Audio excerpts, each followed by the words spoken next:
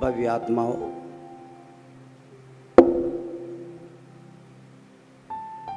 जीवन बड़ा अनमोल है।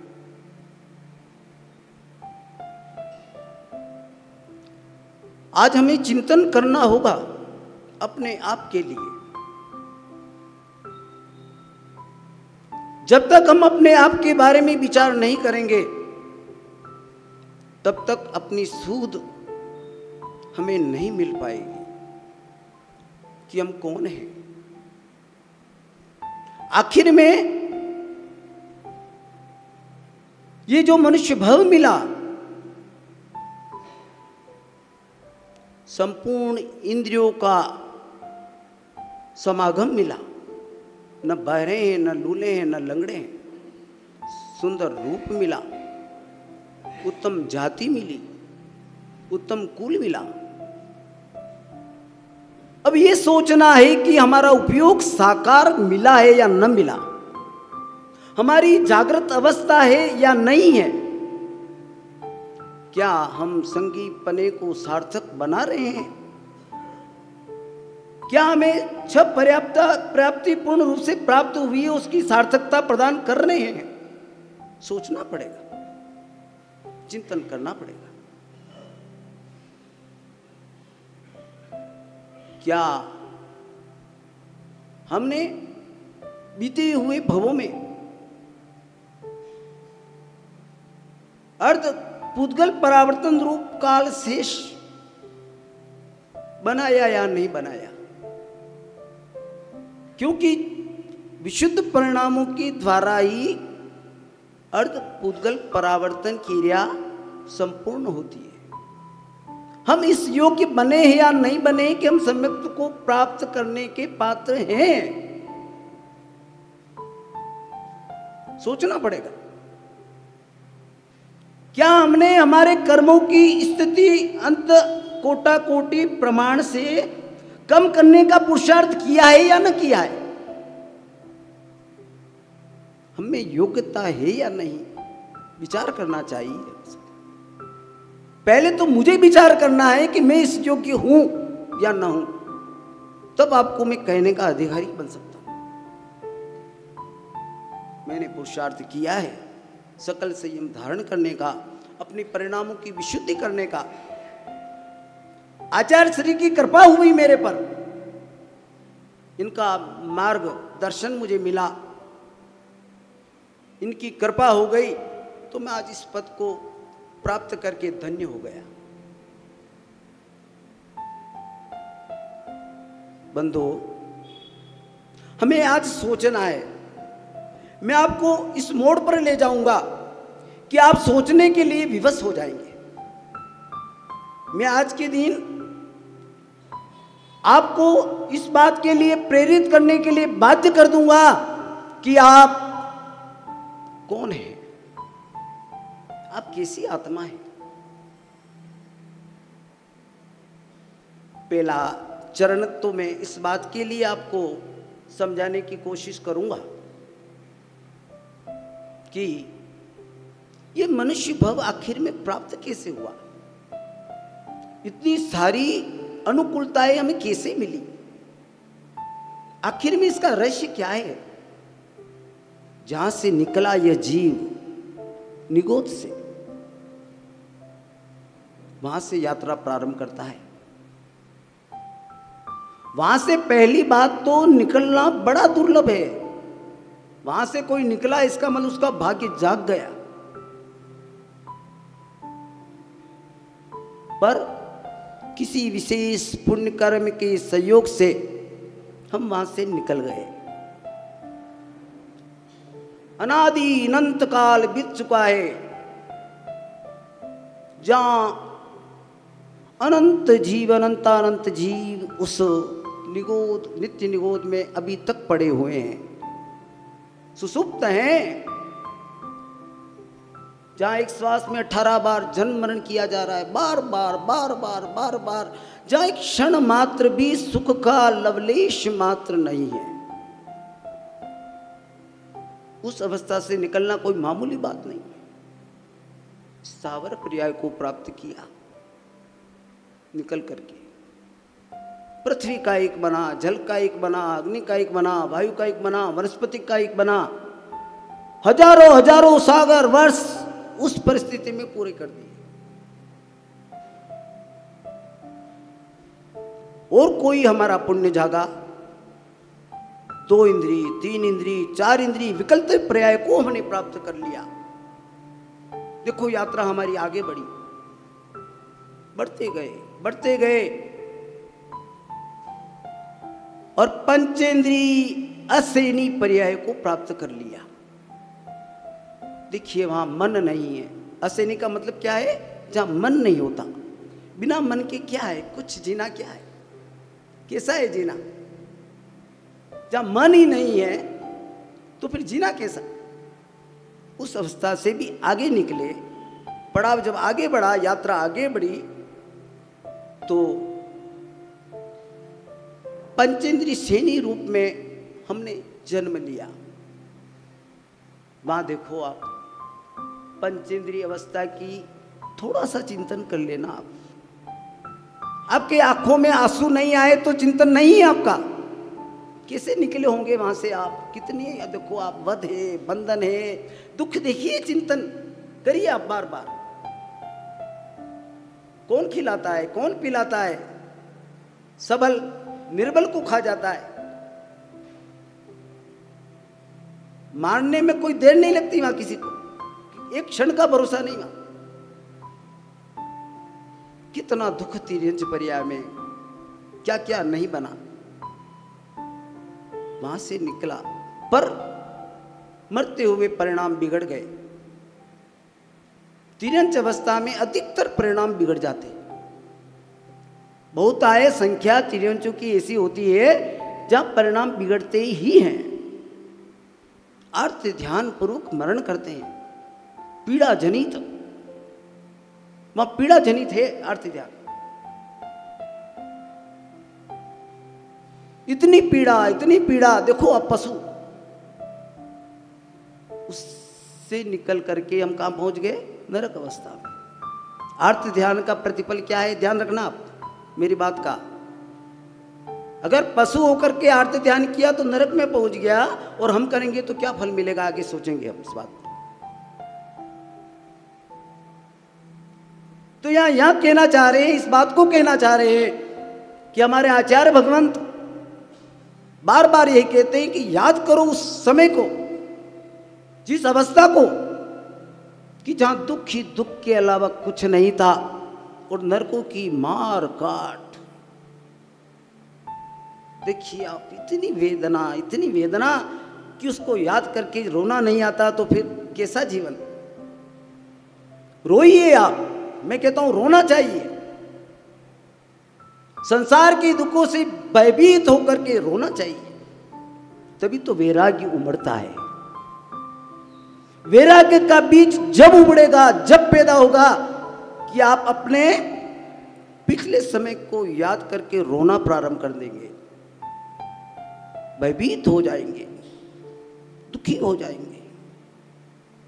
अवश्य आपको वैराग की जो ज्योति है, वो जागृत हो जाएगी कि मुझे पुनः उस योनि को प्राप्त नहीं करना है। ये भय चाहिए। नरकों की मैं इसकी बड़ी व्याख्या नहीं करूँगा। क्योंकि आज समय जितना मुझे मिला है उतना ही। तो मैं ये कहना चाहता हूँ कि नरकों की जो जहाँ खाने को नहीं, पीने को नहीं जहाँ एक वैकृक प्रक्रिया से सम नार की वैकृक रूप धारण करके मार काट करते हैं। कभी हाथी बन जाते हैं, कभी शेर बन जाते हैं, एक दूसरे को खाते हैं गरम गरम यानी हथियारों से उसको छेदते हैं भेदते हैं, जलाते हैं, उठा करके फेंक देते हैं टुकड़े टुकड़े कर देते हैं, पर वहाँ अकाल मरण नहीं। कितना भी आप कोशिश कर लो कि मैं मरना चाहूँ, पर वहाँ मर नहीं सकता। वो पीड़ा का ही एक प्रतीक है नरकायु। बस सिर्फ़ पीड़ा अगर किसी को प्राप्त करनी है तो नरक आयु। का चिंतन करिए वहाँ पीड़ा देखिए। किसी विशेष पुण्य से इसने मनुष्य भव प्राप्त कर लिया। अब मैं इस मनुष्य भव की चेतावनी आपको दे रहा हूँ कि नौ महीने तक इसकी स्थिति क्या रही, विचार करना सब बैठे हुए आप। ध्यान से करना इस बात को, इसी से बेरा किया जाएगा? उल्टा लटका। किस स्थान पर, अपवित्र स्थान पर उल्टा लटकाया गया। माता ने जैसी प्रक्रिया की, उसका सारा दुख उसको मिला। देखिए आप, वहाँ रोता तो कोई सुनने वाला नहीं, वहाँ चिल्ला तो कोई सुनने वाला नहीं। कभी कभी माँ कहती बच्चा रो रहा है, बच्चा हिल रहा है, बच्चा डुल रहा है बहुत सारी माताएँ ऐसा कहते हैं, सुना है मैंने। वहाँ उसकी वेदना है। आपको अगर चार घंटे के लिए उल्टा लटका करके बाँध लिया जाए तो क्या स्थिति बनेगी, सोचो आप। सोचना इस बात पर कभी कि चार घंटे के लिए किसी को उल्टा लटका करके बाँध लिया जाए तो क्या स्थिति बनती है उसकी? नौ महीने लगातार। देखिए आप सोचना उस परिस्थिति को। आपके आँखों में आँसू आने चाहिए? वो वेदना सह करके आए हैं आप और ये वेदना कोई पुरानी नहीं है। ज़्यादा बड़ी वेदना इसी नहीं है लंबी अंतरकाल बीत गया हो। याद कर सकते हैं इस वेदना को। और उस गंदे स्थान से इसने बाहर निकलने का उद्यम किया तो बाहर निकल गया। वायु के प्रकोप से, वायु के द्वारा निकलता है। निकल जाता है। जन्म ले लेता है। पर जन्म लेते ही इतना रुदन करता है, इतना रुदन करता है कि उसकी रुदन देख लो तो दया आ जाएगी। माताओं से पूछ सकता हूँ मैं, जब बालक जन्म लेता है कितना रुदन करता होगा? कैसे थप थपाकर थप थपाकर थप थपाकर उसको चुप करते हैं। उसके मुख में कुछ देते हैं स्वाद का।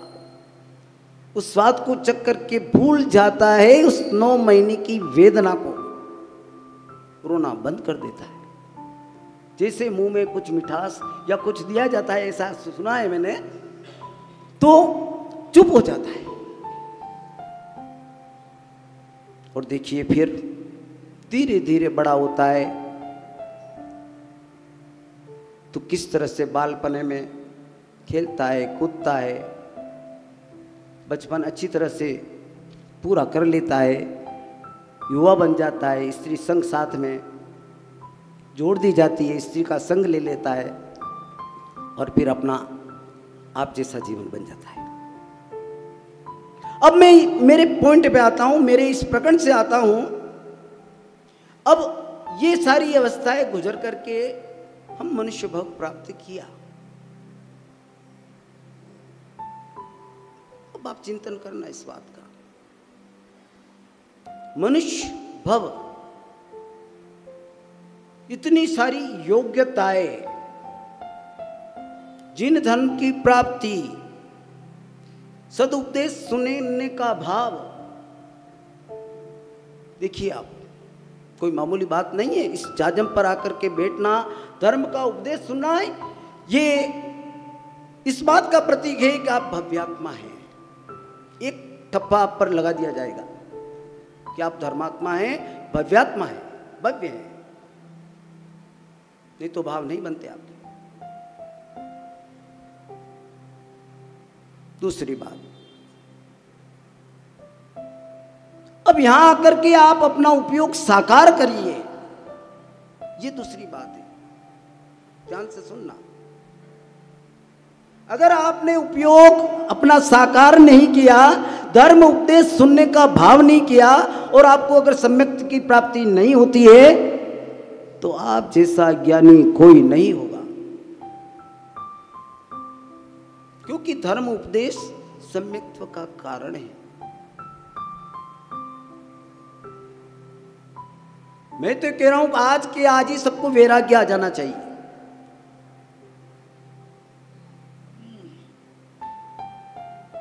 ये अमृत पान है धर्म उपदेश।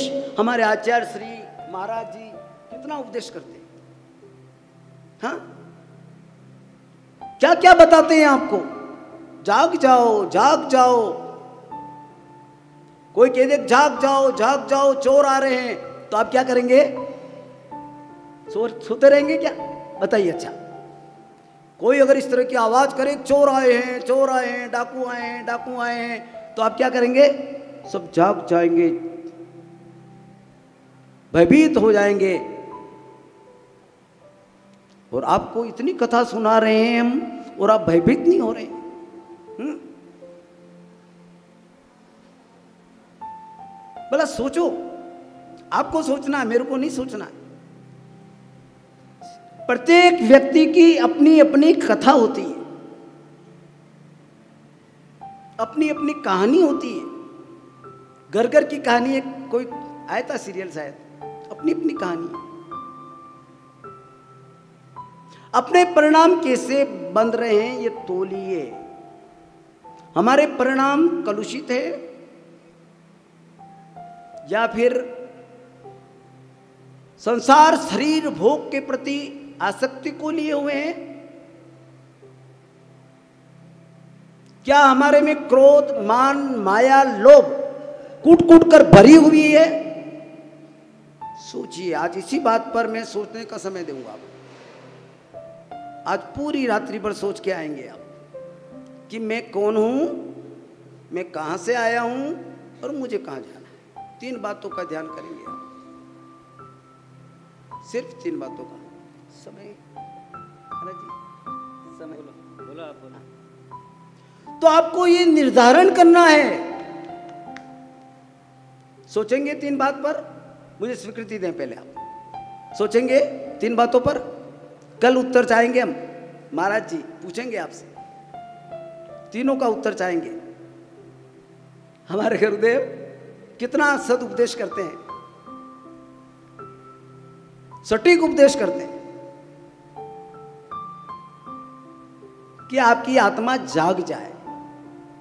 मैं तो चाहता हूँ कि आपको इस तरह का उपदेश इस चतुर्मास में मिले कि अधिक से अधिक लोगों को यहाँ वैराग्य हो जाए।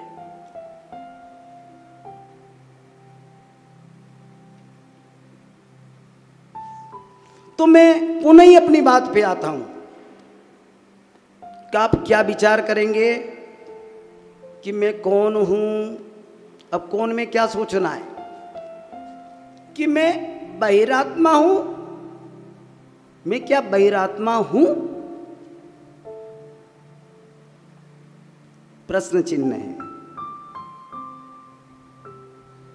इसका उत्तर आपको देना पड़ेगा। हम नहीं जानते आप कैसे आपकी आत्मा को हम थोड़ी जान सकते भाई, आपको ही देना पड़ेगा उत्तर तो।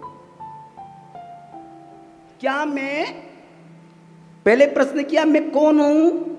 दूसरा प्रश्न क्या किया आपने? क्या मैं बहिरात्मा हूँ।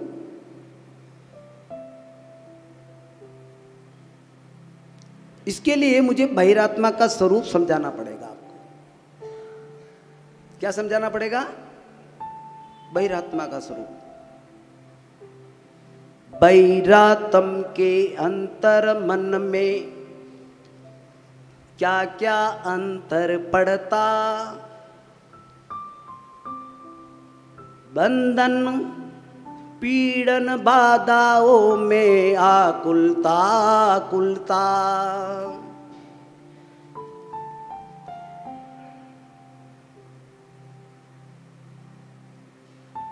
सोचना मेरी बात को पुनः क्या सोचना आपको? बैरातम के अंतर मन में क्या क्या अंतर पड़ता?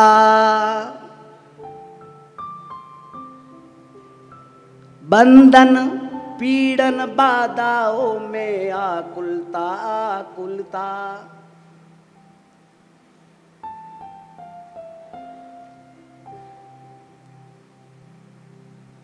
इसी तरह जीवन गुजरेगा, जीवन निष्फल हो।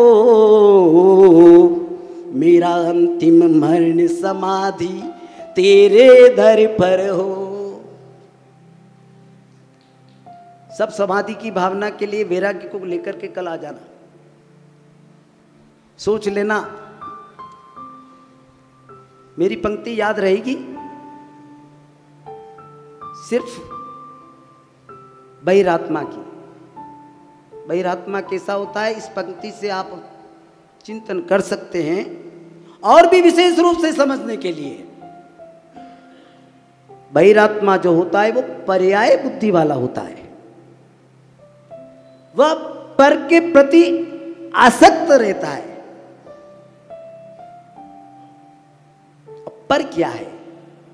एक के बाद एक प्रश्न उठेगा, पर है क्या?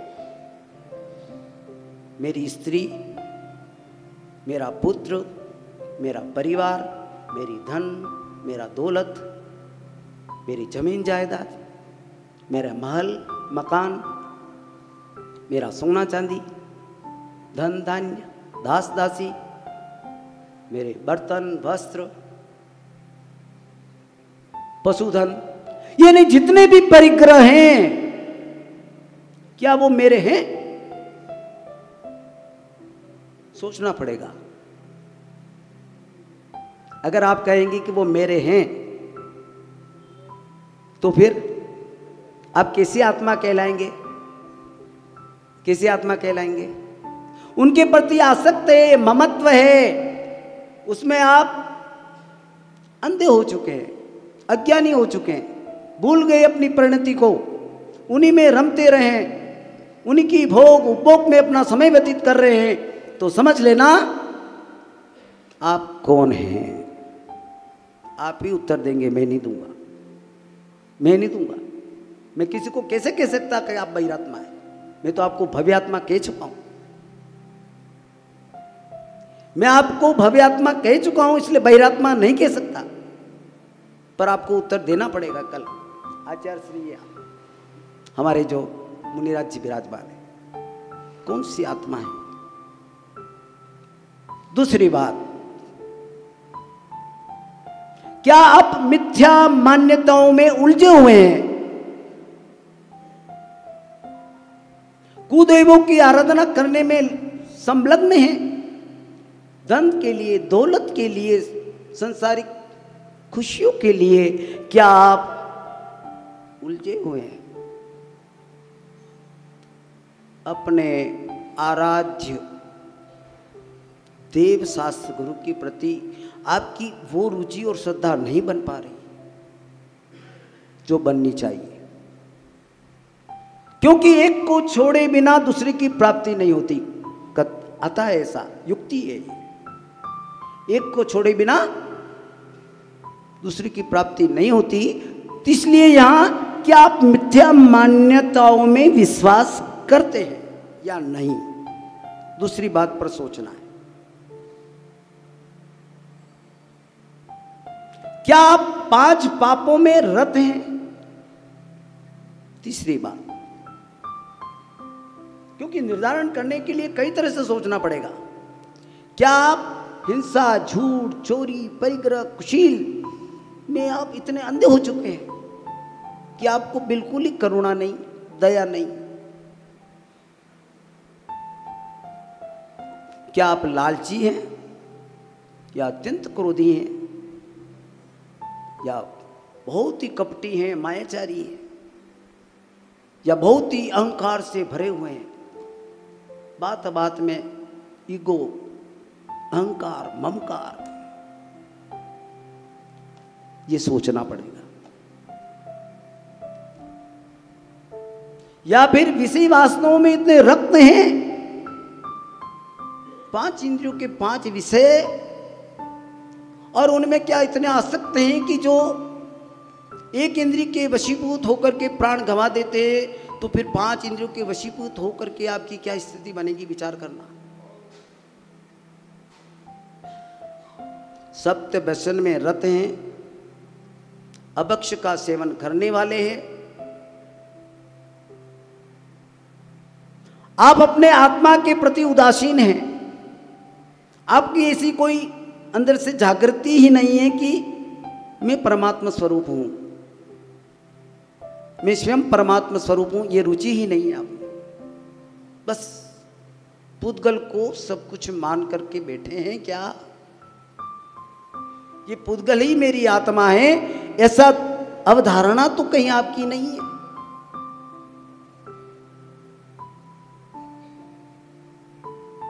और भी विचार करें। क्या मैं दुखी हूँ? इस प्रश्न पर विचार करना पड़ेगा। क्या मैं दुखी हूँ या सुखी हूँ? जब तक ये प्रति उत्तर नहीं मिलेगा आपके मन में, तब तक आप निर्धारण नहीं कर सकते। मूल बात है, क्या मैं संसार के भोगों को भोगते हुए सुखी हूँ? प्रश्न करना पड़ेगा।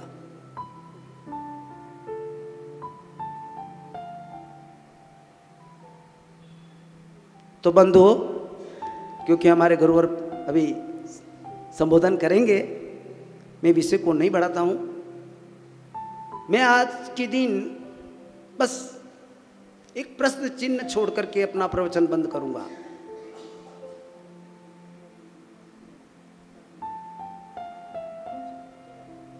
कि आप कौन हैं? कहाँ से आए हैं? कहाँ आपको जाना है। आप सुखी हैं या दुखी हैं? इसका उत्तर चाहिए। इतना ही कहकर आप सभी भव्य आत्माओं के लिए मैं भगवान से प्रार्थना करता हूँ कि आपका जीवन सुखी बने, संपन्न बने। आपको धर्म की जागृति प्राप्त हो। चौबीस तीर्थंकर भगवान की। जय। जय बोलो आचार्य वर्तमान सागर जी महाराज की जय। जय बोलो मुनि संघ की।